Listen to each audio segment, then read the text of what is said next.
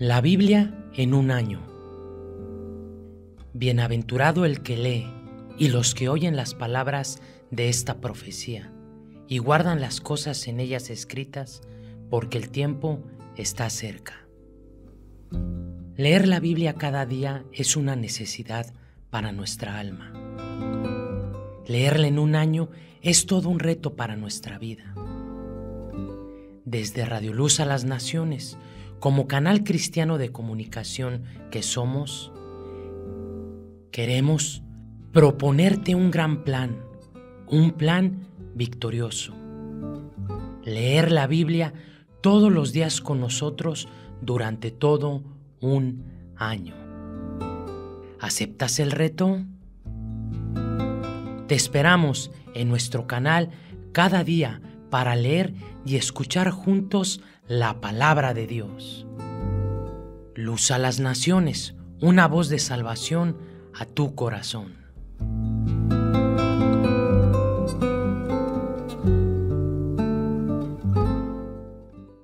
El libro de los Proverbios Capítulo 4 Oíd, hijos, la enseñanza de un padre, y estad atentos para que conozcáis cordura, porque os doy buena enseñanza, no desamparéis mi ley porque yo también fui hijo de mi padre, delicado y único delante de mi madre.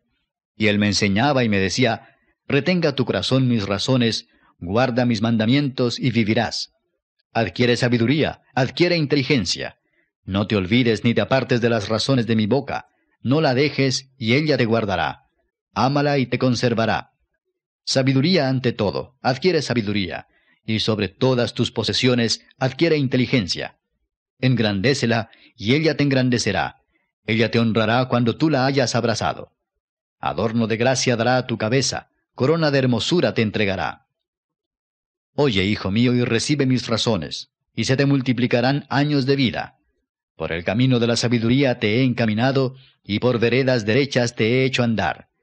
Cuando anduvieres, no se estrecharán tus pasos, y si corrieres, no tropezarás. Retén el consejo, no lo dejes Guárdalo, porque eso es tu vida. No entres por la vereda de los impíos, ni vayas por el camino de los malos. Déjala, no pases por ella, apártate de ella, pasa. Porque no duermen ellos si no han hecho mal, y pierden el sueño si no han hecho caer a alguno. Porque comen pan de maldad y beben vino de robos, mas la senda de los justos es como la luz de la aurora, que va en aumento hasta que el día es perfecto. El camino de los impíos es como la oscuridad, no saben en qué tropiezan. Hijo mío, está atento a mis palabras, inclina tu oído a mis razones.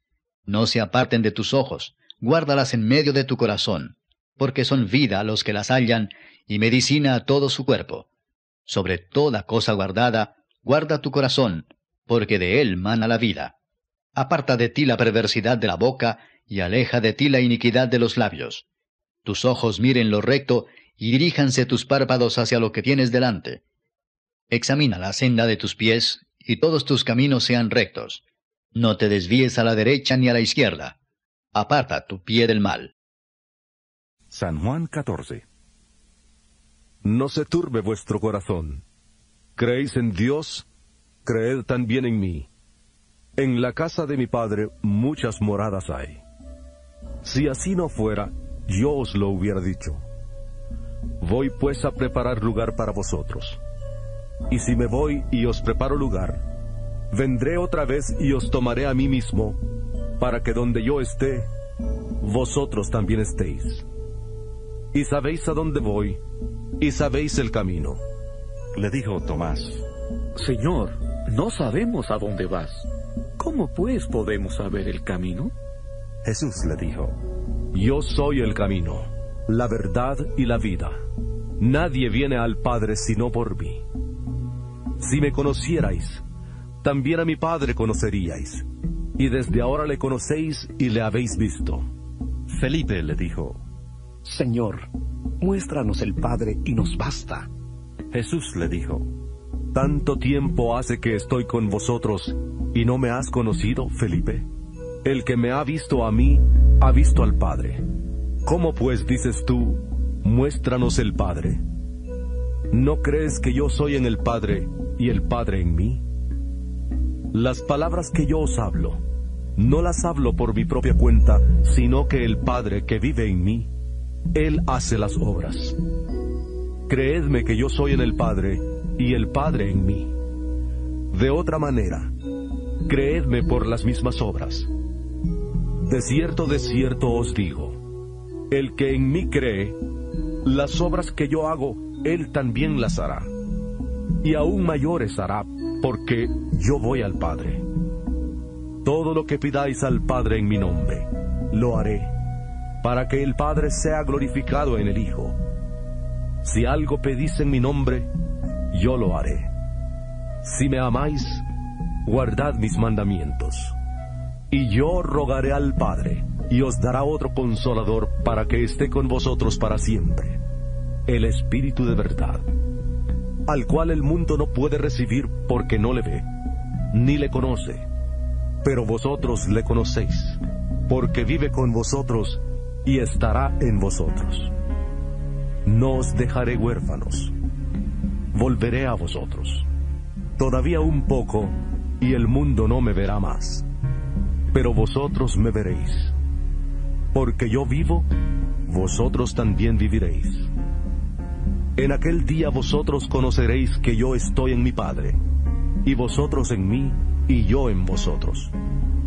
El que tiene mis mandamientos y los guarda, ese es el que me ama, y el que me ama será amado por mi Padre, y yo le amaré y me manifestaré a él.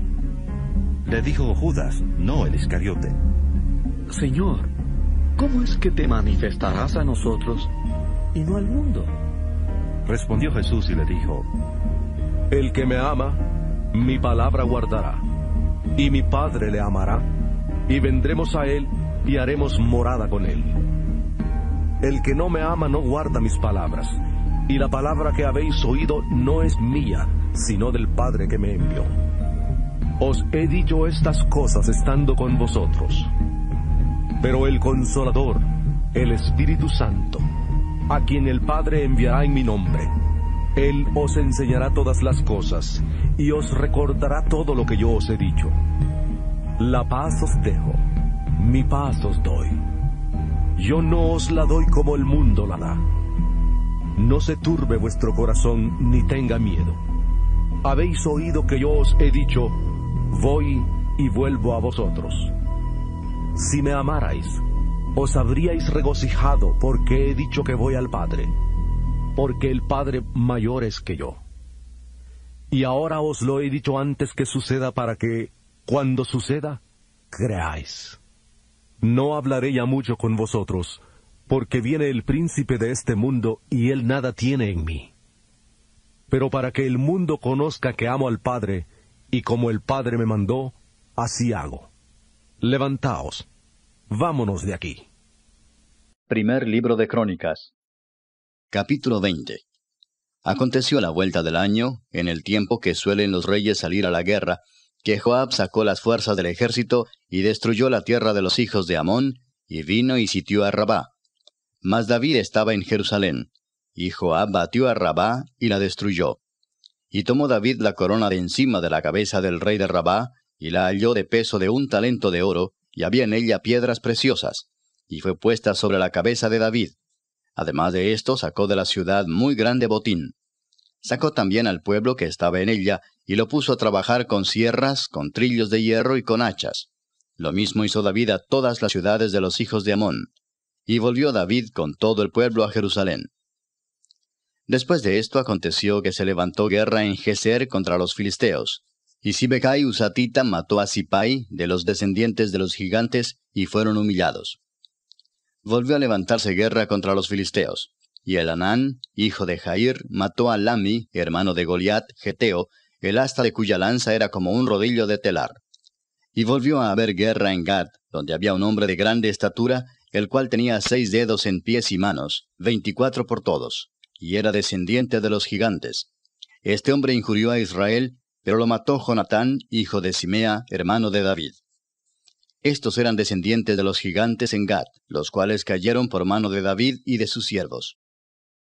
Capítulo 21 Pero Satanás se levantó contra Israel e incitó a David a que hiciese censo de Israel.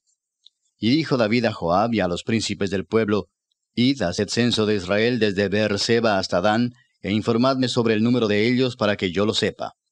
Y dijo Joab, Añada Jehová a su pueblo cien veces más, rey señor mío. ¿No son todos estos siervos de mi señor? ¿Para qué procura mi señor esto que será para pecado a Israel? Mas la orden del rey pudo más que Joab. Salió por tanto Joab y recorrió todo Israel, y volvió a Jerusalén, y dio la cuenta del número del pueblo a David. Y había en todo Israel un millón cien mil que sacaban espada, y de Judá cuatrocientos setenta mil hombres que sacaban espada. Entre estos no fueron contados los levitas ni los hijos de Benjamín, porque la orden del rey era abominable a Joab. Asimismo esto desagradó a Dios, e hirió a Israel. Entonces dijo David a Dios, he pecado gravemente al hacer esto. Te ruego que quites la iniquidad de tu siervo, porque he hecho muy locamente. Y habló Jehová a Gad, vidente de David, diciendo, Ve y habla a David y dile, Así ha dicho Jehová, tres cosas te propongo, y escoge de ellas una que yo haga contigo. Y viniendo Gad a David le dijo, Así ha dicho Jehová, escoge para ti, o tres años de hambre, o por tres meses ser derrotado delante de tus enemigos con la espada de tus adversarios, o por tres días la espada de Jehová, esto es, la peste en la tierra, y que el ángel de Jehová haga destrucción en todos los términos de Israel. Mira pues, ¿qué responderé al que me ha enviado? Entonces David dijo a Gad, Estoy en grande angustia. Ruego que yo caiga en la mano de Jehová, porque sus misericordias son muchas en extremo, pero que no caiga en manos de hombres. Así Jehová envió una peste en Israel, y murieron de Israel setenta mil hombres. Y envió Jehová el ángel a Jerusalén para destruirla.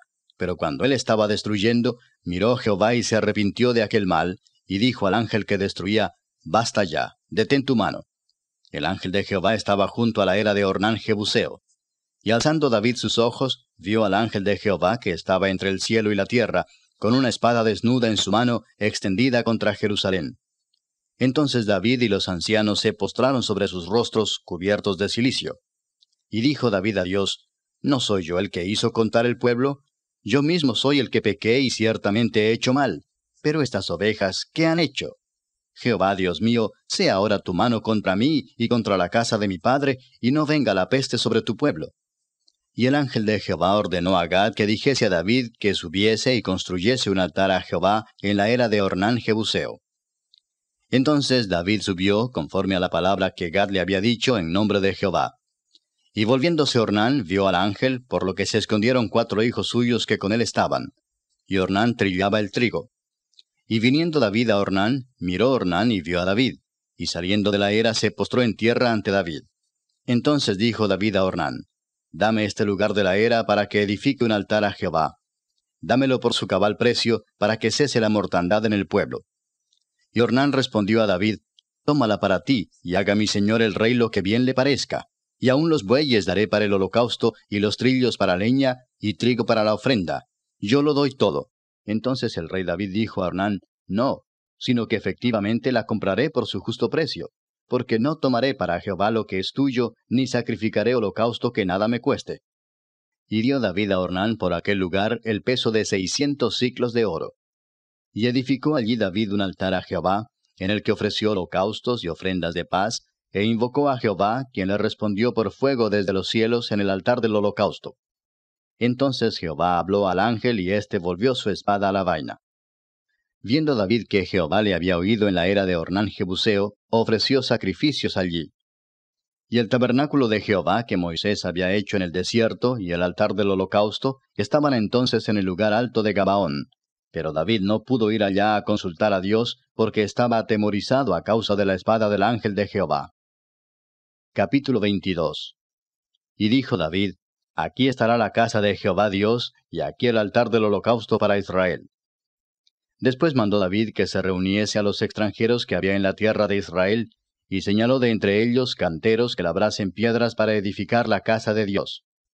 Asimismo preparó David mucho hierro para la clavazón de las puertas, y para las junturas, y mucho bronce sin peso, y madera de cedro sin cuenta porque los sidonios y tirios habían traído a David abundancia de madera de cedro.